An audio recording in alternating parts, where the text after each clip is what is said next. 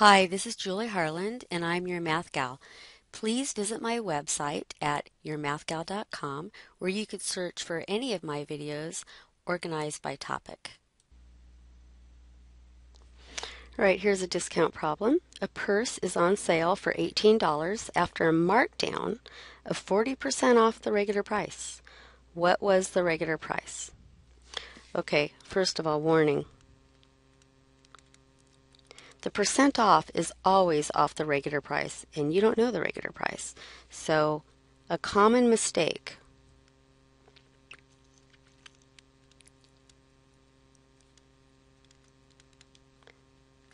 is to do 40% of 18. Okay? But you don't mark it off of what the final sale price is going to be, you're going to mark it off whatever the regular price was. So let's see why this wouldn't make sense. 40% of 18 is 0.4 times 18. And then 4 times 18, let's see, 2 times 18 is 36, and then 72, move the decimal in one, so it's $7.20. You can get a calculator and get that too. So if it was 720 uh, $7.20 off and it's 18 some people mistakenly think that the regular price is 18 plus 720 which would be $25.20 but does this make sense? Well what is 40% off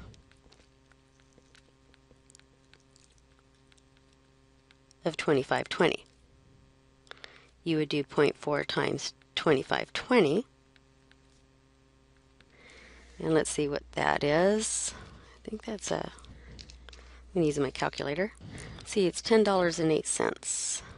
$10.08. So the sale price would be 2520 minus 1008 Sorry for my writing here, it doesn't look very good. Minus 1008, and that would give you, let's see, that's 12, 15, 12. Uh, but the purse, that doesn't make sense, right? That doesn't work, but the sale price was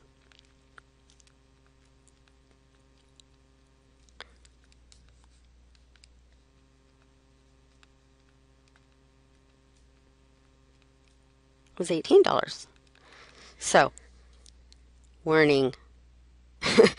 when you're doing a discount problem, it has to be off the original price. Just like when you're doing a mark, markup problem, it has to be what you bought an item for originally before you marked it up. Okay, so this does not work. Be careful. Now let's do it the correct way. All right, so let's start over. A purse is on sale for $18 after a markdown of 40% off the regular price. What was the regular price?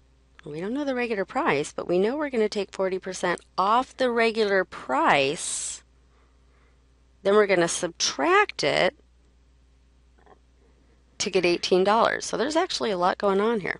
So we don't know the regular price. You could use any variable you want. You could use R for regular price, or how about I just use X?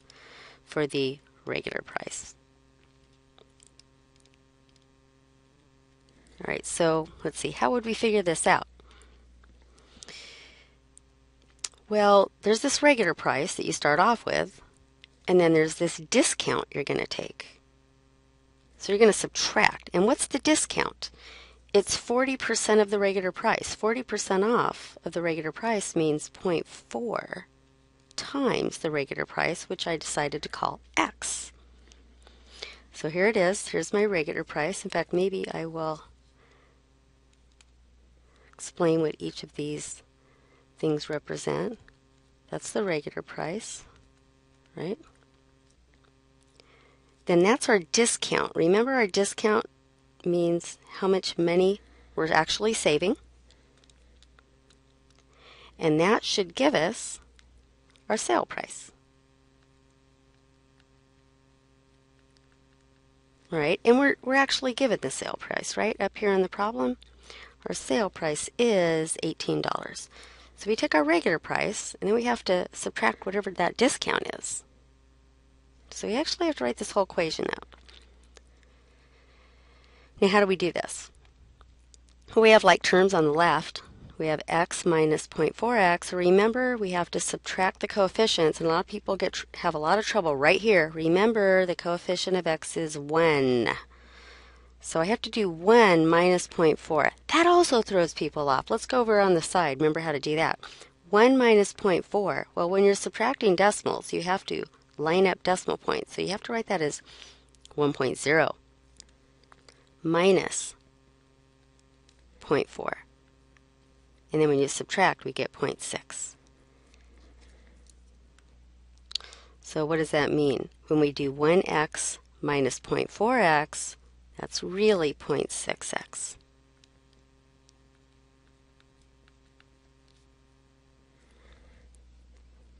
Now, at this point, you could just divide by 0.6, use a calculator or whatever you want. I like to multiply both sides by 10 to get rid of the decimal points, but this is just an option. I'm going to multiply both sides of the equation by 10 just to get rid of those decimal points, so I don't need to get my calculator out. If you get your calculator out, you'll get the same answer. So 10 times 0.6 is just 6, right? And then 10 times 18 is 180, and I just find that a very simple arithmetic problem. Now, 180 divided by 6, x is $30. So it looks like the regular price is going to be $30, which I'm going to check, and if it's not, we'll go back and erase that. Okay, so let's go back to the original problem. Right, so here's our regular, uh, our original problem, and we got that the regular price was $30, and now we want to check and make sure that makes sense. Remember when we did it wrong the first way and we checked, it did not make sense. So if the regular price was $30 and it's 40% off, okay, how much money off is that? Well, there's there's all sorts of ways to figure out 40% off of 30. You could do 0.4 times 30, and then that's 4 times 30, which is 120, and move the decimal in one. So it's $12 off, right? $12. That's a decimal point. It doesn't look like a decimal point. Here we go. It's $12 off. All right, so if you do 30 minus 12, it does get $18. Now, how's, how's another way you might think of um, doing 40% off? You could do 10% off, 10% off, and 10% off, and 10% off. So 10% off $30. What's that? That's uh, $3, right? So I want 40% off. Would be four times that. So that's another way you could figure out that it's $12 off. Both of them are legitimate. Depends if you feel like doing multiplication or just sort of reasoning it in your head. We still are going to get $12 off. One last way of checking it is if it's 40% off, that means you're paying 60% of the regular price. So another way you could have checked it was just figure out what 60% of 30 was, right? 60% of the regular price you pay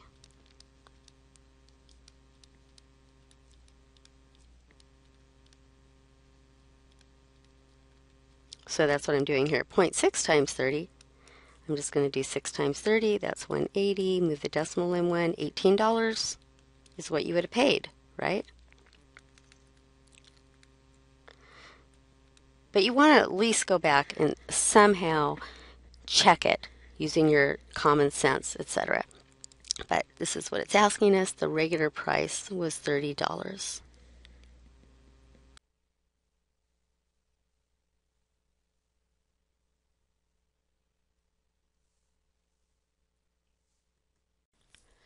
Please visit my website at yourmathgal.com where you can view all of my videos which are organized by topic.